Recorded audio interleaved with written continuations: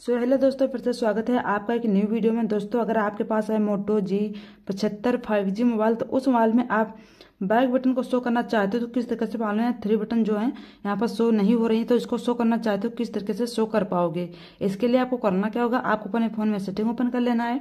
उसके बाद यहाँ पर एक ऑप्शन मिल जाएगा गेस्टर का तो इस पर क्लिक कर देना है। उसके बाद नेविगेशन मोड पे क्लिक कर देना है।